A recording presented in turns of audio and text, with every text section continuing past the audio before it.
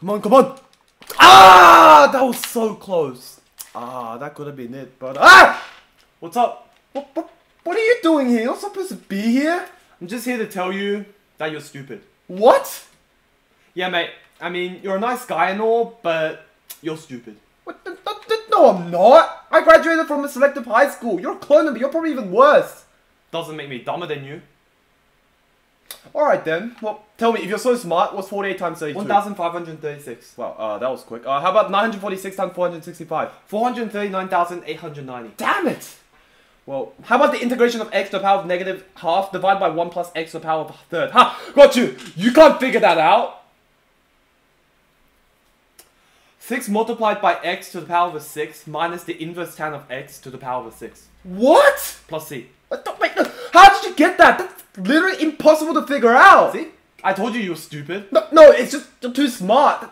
No one could have figured that out. Well, I just did. So who's stupid now? I'm stupid. That's right. So if you want to check out someone less stupid, check out my channel, M Source, for quality content about knowledge. My latest video, E, contains way more higher quality content than him. So what are you waiting for? Click the link in the description to check out my channel.